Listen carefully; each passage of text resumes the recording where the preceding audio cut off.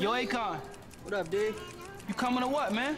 Nah, I got a lot on my mind, man. I'm gonna let y'all go ahead, man. Alright. Of course you get fucking Atiesh from my fucking Cabalist tome that you shouldn't have gotten, from an unstable portal that you shouldn't have gotten. Of course, dude. Why wouldn't you? Of course! Of course! God damn it. Got that one good girl, dog, that's always been there.